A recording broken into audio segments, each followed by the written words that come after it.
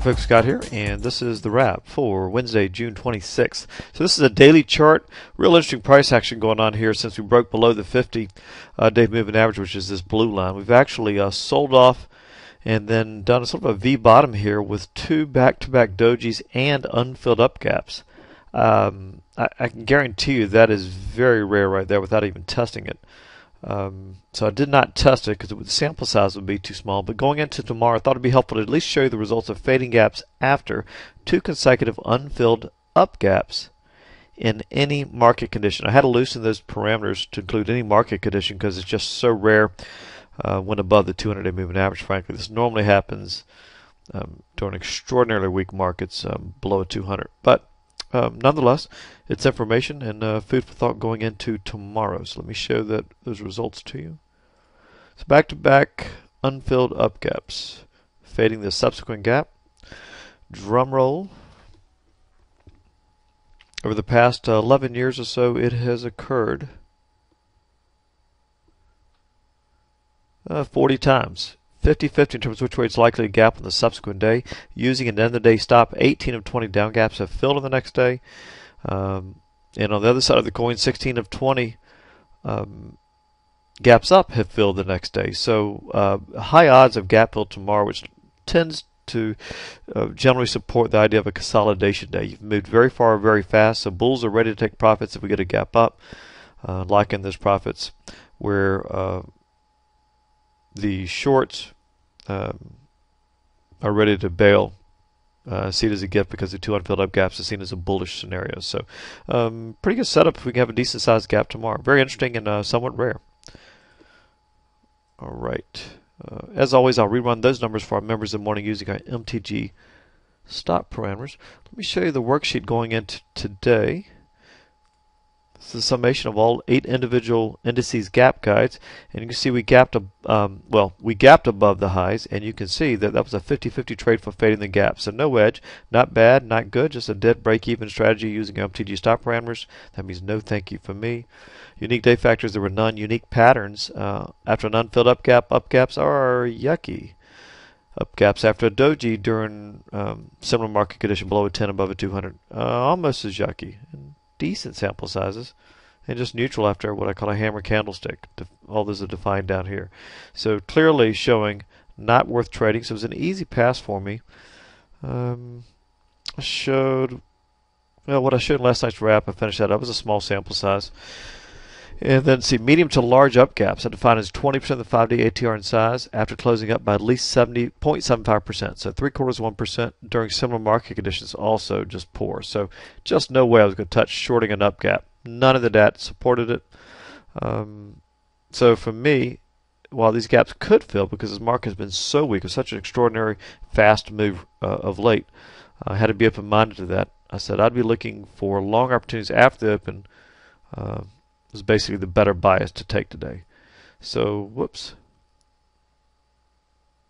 That's what I did, but I had to follow the data. And as luck would have it, which we've had a couple, I think twice this week now, while I had a long bias, the data came out in favor of the short side on a uh, 15 minute low range breakout. And it worked beautifully in the Russell. 15 minute range, that purple line there. Um, and was almost perfect in the low breakout. Let me show you what I mean. My target was 1581.50. In fact, let me show you the data to show you how compelling it was, favoring the low range breakout. I'm looking for 55 and 1.1 of the low breakout for 15 minute ranges. Check, check, check. Missed about 1 100. That's close enough. Check. 4 for 4. Look at ETFs. Check, check, uh, leans that way clearly in check. So 7 to 8, I had to fade it. So I set up the low breakout 15 minute um, range trade and target at 1581.50 because it was a 5. What was it?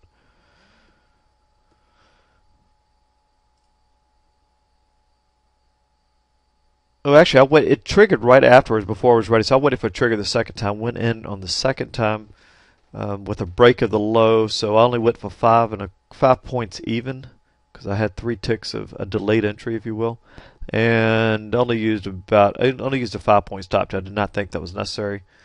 Markets sold off, went right to my target at 1581.50. And as my luck would have it, actually got filled. The problem was I had brokerage problems with one of my brokers, had to switch at the last minute to another platform. Bracket orders weren't set up correctly, didn't realize it, and I had uh, I set up the first half of five, and the rest was some big number.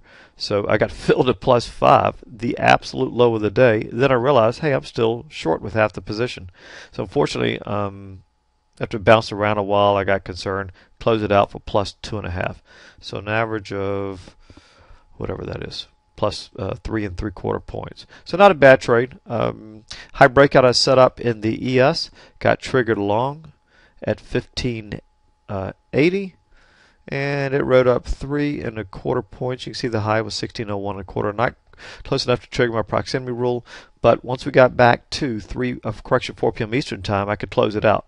Now the gotcha was set up, I thought, pretty good uh, for the close, so I decided not to um, close it out at the cash close instead of hold on to it and use a two point stop, and I got stopped out for minus two. So, you know, for all intents and purposes, a scratch trade. I try to sort of turn it into an end of day gotcha trade. That didn't work. Lost two on that. I did take the gotcha and got stopped out for minus three on that. That was disappointing. Gotcha's a long trade into the close. Um, folks, I got to get that. So anyhow, that was my day. Um, a little bit of a tricky and uh, frustrating day. Uh, the one thing I did note on the gap gotcha was that we were inside of the day's range. We were not at new highs, and normally these gotchas are going to work best when everything is trading near its highs. This action, end of day action, was pretty good, unfilled gap, etc. Russell did fill, and it was inside of its range, so that was a strike against it. And you know, this is just a tricky market condition in right now. Bulls and bears are very anxious, to say the least. And um, you know, best advice I can give you on these gotchas: pick entries carefully and you do not want to give them a lot of room. If they're going to work, they generally don't run against you more than a few points. So you might want to keep that in mind. As you can see, once they get momentum, they sort of continue that way. And let's see, um, that was it. Uh, you know, probability trade wise, actually was net profitable. Uh, actually, it may not be true because I have traded a little bit bigger position size in the high breakout. That was a better setup to me. So lost a little bit less than I made there. That's uh, was not a true statement, but not a bad day. Just uh, you know, trading's um, sometimes the days are good, sometimes they're bad, sometimes they're just blah. Today was a little blah day in my mind. Lost a little bit of money. Uh, we'll see what tomorrow brings us though. So uh, there you go. That is the wrap for Wednesday, June 26th.